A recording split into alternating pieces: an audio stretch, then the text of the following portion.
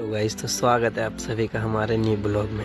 तो इतनी रात को आप लोग गेस कर सकते हो मैं कहाँ जा रहा हूँ। तो गाइज़ अभी हम लोग सब कुछ दोस्त मिलकर कुछ लोगों ने मीटिंग किया कि सबसे टेस्टी मैगी कहाँ बनता है। तो कुछ दोस्तों ने कहा कि इस प्लानट तो मैंने कहा, चलो तो फिर इस प्लानट तो गाइज़ इतनी रात को हम लोग निकल गए हैं इस प्लानट मैगी खाने, क्योंकि वहाँ का मैगी बहुत ही ज़्यादा फ़ेमस एंड टेस्टी भी है।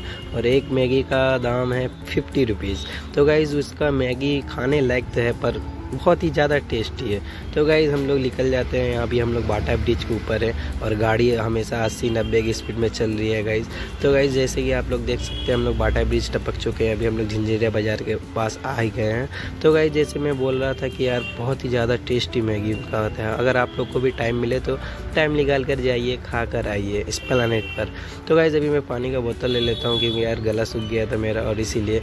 तो देखते ही देखते यहाँ पूरा अंधेरा हो जाता है क्योंकि यहाँ लाइट ही नहीं था इसीलिए और मैं यहाँ वीडियो बना लिया और मैंने बोला कि यार यहाँ का लाइट कहाँ गया? तो मेरे दोस्त ने बोला कि यहाँ का चोरों ने लाइट चुरा लिया। तो यार हमारे आ जाते हैं millennium and sorry Prinsep guard तो गैस यहाँ रात का मतलब रात को देख कर क्या ही क्या ही खूबसूरत लग रहा है यार नज़ारा। तब तक यहाँ हमारे आ जाता है कलकत्ता का सबसे बड़ा स्टेडियम ईडन गार्डन गाइज़ ये हमारा कलकत्ता का सबसे बड़ा स्टेडियम है, क्योंकि यहाँ बहुत से बड़े बड़े टूर्नामेंट होते हैं और यहाँ हमारे विराट कोहली, सचिन तेंदुलकर और बहुत से सेलिब्रिटी का फ़ोटो भी दिया गया है। तो देखते ही देखते हम यहाँ आ जाते हैं ब्रिज के पास। ये कौन सा ब्रिज इस ब्रिज का नाम मुझे पता नहीं, पर बहुत ही ज़्यादा खूबसूरत लग रहा था देखने में गाइज़ और यहाँ हम लोग सोचे रुक कर फ़ोटो ले, पर यहाँ रुकना मना था क्योंकि यहाँ रात को बेसी देर रुकने से पुलिस आ जाती है। तो अब रात को पुलिस के घर जाने से अच्छा अपने घर ही जाए। तो गाइज़ हम लोग नहीं रुके। और यहाँ हम लोग चुपचाप से गाड़ी आगे बढ़ा के निकल गए। गाइज़ यहाँ का व्यू देखकर मन कर रहा था कि यहीं रुक जाए, अपना घर ना जाए गाइज़ बहुत ही ज़्यादा खूबसूरत लग रहा था। और देखते ही देखते हम लोग इस प्लान आ जाते हैं गाइज़ तो यहाँ हम लोग चचा को बोल देते, चचा मैगी बना कर रेडी रखो, हम लोग आ गए। हैं तो चचा ही बोल रहे हैं हाँ हम बना के रख रहे हैं। मेरा दोस्त ऑर्डर दे रहा है कि, भाई, अंडा जला देना मेरा। तो गाई चचा बोले ठीक है बेटा, हम कर दे रहे हैं। और यहाँ पर चाचा बहुत ही स्पीडो जोरों जोरों से काम कर रहे हैं अपना।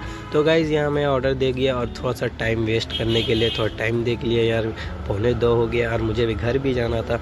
तो गाइज़ हम लोग थोड़ा सा टाइम वेस्ट करते करते तब तक के लिए चाचा को मैगी बनाने का टाइम दे दिए थे और चाचा यहाँ मैगी बना के दे दिया और गाइज़ मैगी देखने में जितना खूबसूरत लग रहा है, उतना खाने में भी टेस्टी है गाइज़ तो आप लोग को भी ऐसा करता हूँ, आप लोग भी आए और मैगी खाएँ और पचास रुपये में आप पेट भर के खाए। तो गाइज़ बहुत ही ज़्यादा टेस्टी मैगी है इनको।